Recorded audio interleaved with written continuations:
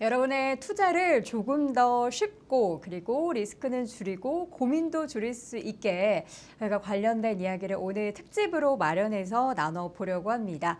어, 나는 투자를 하고 있기는 한데 과연 내가 잘 하고 있는 것인가에 대한 의구심이 드시는 분들은 이 시간 함께 해 보시면 좋을 것 같습니다. 자 오늘 두물머리 투자자문의 송낙현 대표 함께하도록 하겠습니다. 대표님 어서 오세요. 네, 반갑습니다. 네, 반갑습니다.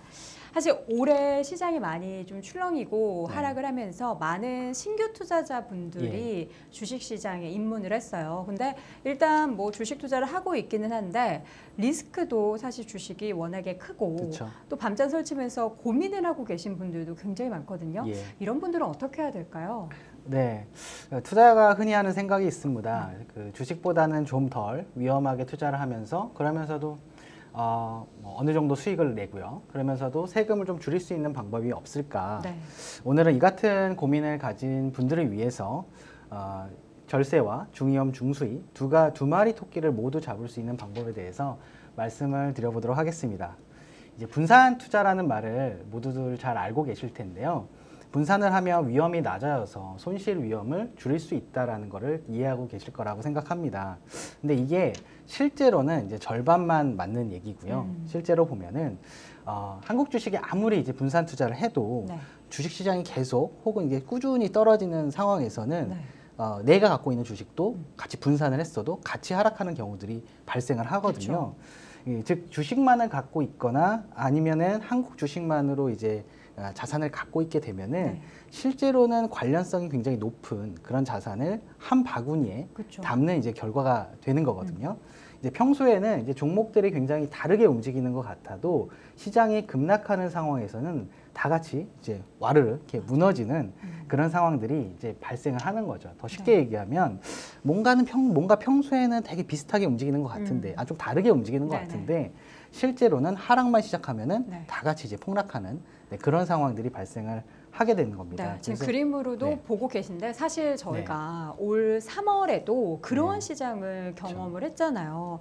그래서 이 주식 경험에도 달걀을 한 바구니 담지 말라 이 말이 왜 있겠습니까? 음. 그렇다면 떨어질 때 손실을 좀 줄이면서 다양한 여러 가지 경제적인 상황 속에서도 시중금리 대비 초과 수익을 좀 욕심을 많이 내는 것 같긴 네. 한데 시중금리 대비 초과 수익을 낼 수 있으려면 어떻게 해야 될까요? 네.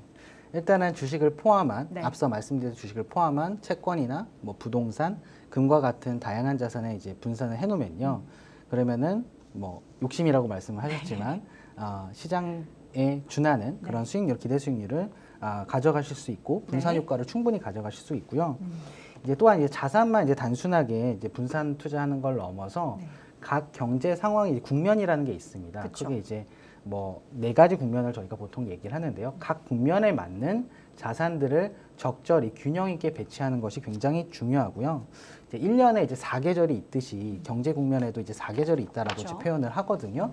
그래서 이 4계절에, 4계절에 맞는 각각에 맞는 자산들을 보유하면 되고 이렇게 방법을 사용하는 전략을 뭐 risk parity 전략, All Weather 전략, 네. 이제 4계절 전략이라고 음. 이제 부르기도 합니다. 사실 이제 투자 시작하시면서 여러 가지 투자 관련된 유명한 분들 좀 많이 찾아보셨던 분들은 요거 들어보셨을 거예요. 네. 맞습니다. 유명한 투자자 중에서 레이 달리오가 네. 또 이제 네. All Weather 투자 전략 요런 이야기를 참 많이 하는데 오늘 사실 All Weather 전략에 대해서 아시는 분도 계시겠지만 잘 모르시는 투자자분들을 음. 위해서 이 전략에 대해서 조금 자세하게 설명해 주세요.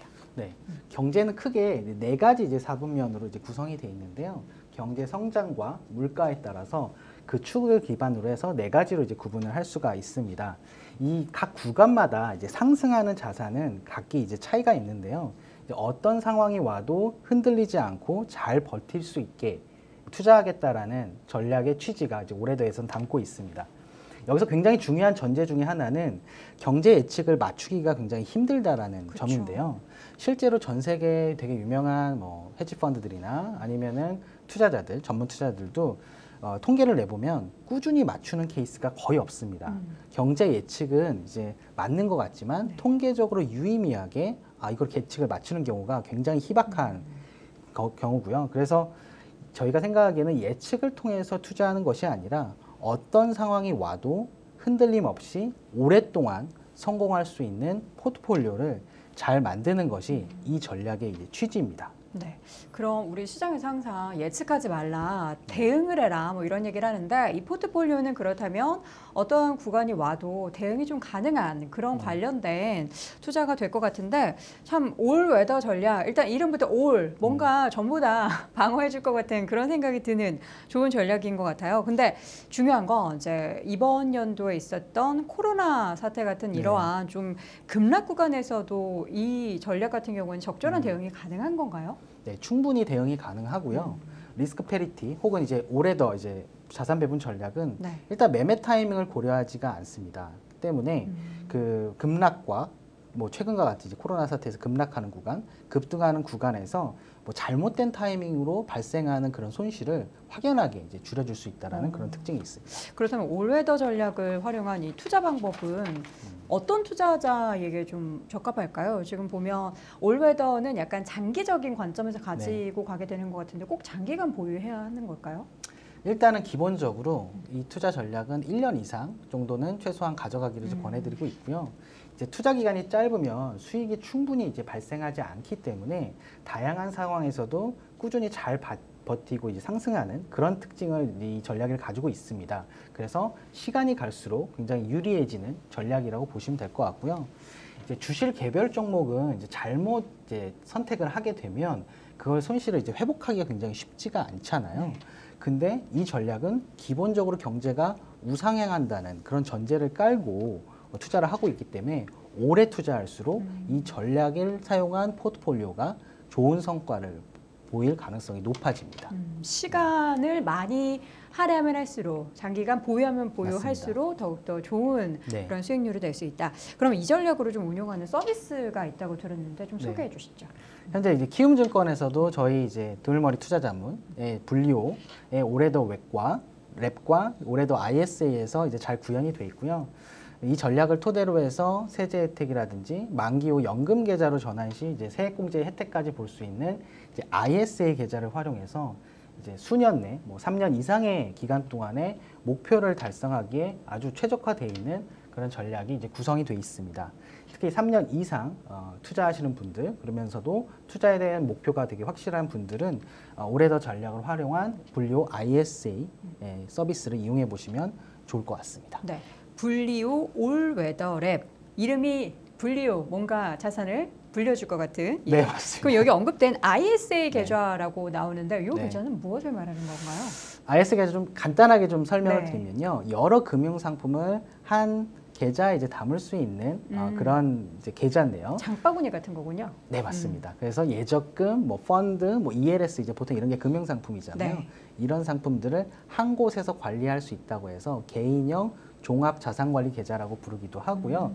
기본적으로 절세 혜택을 가지고 있습니다. 음. 네. 근데 기본적으로 1인 1계좌만 이제 가입이 가능하고요. 만기가 좀 정해져 있기 때문에 뚜렷한 목적을 가지고 투자하시기에 좀 적합한 음. 네, 상품이라고 보시면 될 것 같습니다. 그럼 이제 앞서서 잠깐 언급이 됐었던 분리오 올웨더 ISA라는 서비스는 어떤 사람에게 좀 좋을까요? 음, 이제 대부분의 이제 키움증권 투자분들이 네. 한 번은 꼭 한번 검토를 해보시면 좋을 음. 거라 생각이 들고요.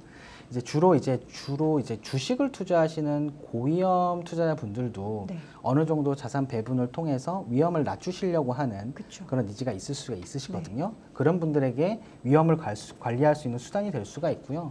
또 안정적인 자산에 주로 투자하는 저위험 투자자분들은 좀 더 수익을 높일 수 있는 음. 그런 대안이 될 수가 있습니다.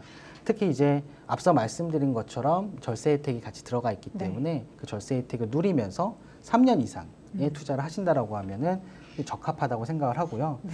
이 검증된 이제 투자 전략 앞서 이제 앵커님도 소개해 주셨지만 그 세계적으로 검증된 투자 전략을 사용하기 때문에 위험 관리 또한 되게 탁- 탁월하고 그걸 ETF를 주로 활용을 합니다. 네. 때문에 어, 전략의 투명성 또한 굉장히 높다라고 보시면 될 것 같습니다. 네.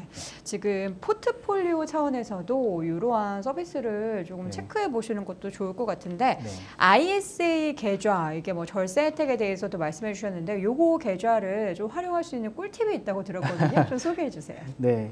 일단은 그 가정이 있으신 네. 부부라면은 명의를 이제 분산하는 게 좋고요. 어, 네. 왜냐하면은 이 IS가 계좌별로 좀 한도가 존재를 합니다. 그러니까 아. 자기가 넣고 싶다고 해서 무한 정 넣을 수 있는 건 아니고요. 네. 절세 혜택이 있기 때문에요.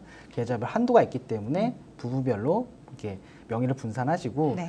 그또 이제 앞서 말씀드렸던 이런 세제 혜택 이외에도 이 만기가 된 IS 상품은 그 연금저축 계좌로 이전을 하게 되면 음. 세액공제를 또 따로 받을 수가 있습니다. 어. 예, 그래서 두 번의 절세 혜택을 받을 수가 있고요. 네. 그리고 2021년부터 지금은 아니고요. 2021년부터는 아, 소득이 없어도 19세 이상이면 이제 누구나 이제 가입이 가능하거든요. 지금은 이제 직장이라든지 이제 소득이 있는 분들만 가능했는데 네. 예를 예를 들면 주부라든지 이런 분들도 충분히 이제 내년부터는 가입을 할 수 있으시다. 네. 음, 알겠습니다. 명의를 분산해라. 아, 네. 부부가 있다면 한도에 따라서 명의를 분산해서 조금이라도 더 많이 네. 이런 혜택을 받을 수 있게 하는 게 좋을 것 같고 네. 오늘 All Weather 전략 관련해서 쭉 이야기를 해주고 계신데 음. 사실 이 전략이 좋긴 한데 아 나는 굳이 이 ISA 계좌를 가입하고 싶지 않다거나 혹은 네. 이미 이 계좌를 가지고 있는 분들은 어떻게 하는 게 좋을까요? 이미 이 계좌를 가지고 계시 ISA 계좌를 가지고 계시거나 네. 아니면은 뭐 굳이 절세 혜택을 받지 음. 않겠다라고 하시면은 키움 올레더 랩이 분리오 올레더 랩이라는 별도의 이제 상품으로 네. 또 구성이 돼 있습니다. 그래서 거기서는 방금 말씀드렸던 All Weather 전략이 다 네. 구현이 돼 있고 음. 자동으로 운영이 될 수 있도록 되어 있기 때문에 어, 그 상품을 가입하시면 될 것 같습니다. 네, 알겠습니다. 분리오 올웨더 ISA 어, 랩 서비스 관련해서 그럼 과연 이게 어디에 투자하길래 네. 어, 라는 궁금증이 당연히 생길 것 같아요. 주로 어디에 투자하나요? 일단 기본적으로 ETF 음. 네. 상품에 분산해서 들어가게 되고요. 네. 선진국 주식시장, 신흥국 주식시장, 선진국 회사채, 뭐 미국 채권, 미국 부동산, 금 굉장히 다양한 자산에 오, 어, 분산해서 들어가신다고 보시면 될 것 같습니다. 굉장히 세분해서 안전자산과 위험자산이 골고루 섞여 있네요. 그렇다면 이제 관련해서 관심 있는 분들께 우리 대표님 마지막으로 한 말씀 부탁드립니다. 네. 어, 최근에 이제 주식시장에서 그 투자자분들이 개별 주식에 굉장히 많은 투자를 하고 계신데요. 투자 자체는 굉장히 좋다고 생각하는데 이러한 어떤 굉장히 고위험 어떤 투자를 하기보다는 조금 더 방금 말씀드렸던 이 글로벌 자산 배분을 통한 위험을 낮추는 투자 전략들도 한번 경험해 보시면 굉장히 좋을 것 같고요. 어, 실제로 이제 이런 전략들을 이제 구성을 하는데 All Weather 투자 전략이나 이런 것들을 하는데 스스로 하기가 굉장히 어려우신 분들이 많이 있습니다. 굉장히 어렵기도 하고요.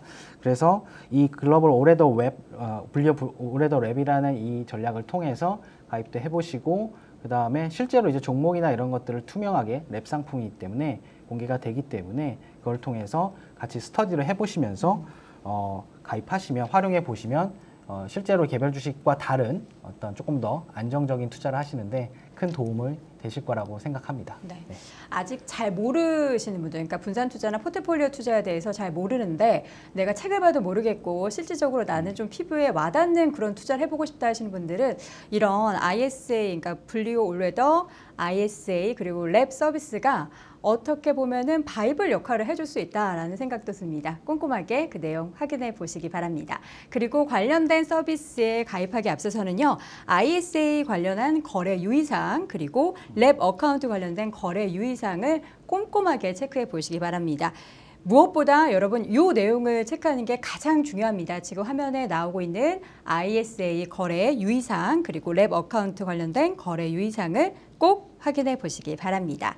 자 오늘 이 시간 두물머리 투자자문의 송락현 대표와 함께했습니다. 대표님 말씀 고맙습니다. 네, 감사합니다. 펀드 내고왕 이벤트. 펀드 순증 금액에 따라 최대 5만 원. 키움 펀드가 처음이라면 누구나 2만 원. 비대면 계좌 개설 최대 4만 원. 매일매일 선취 판매 수수료는 무료. 원금 손실에 유의하세요.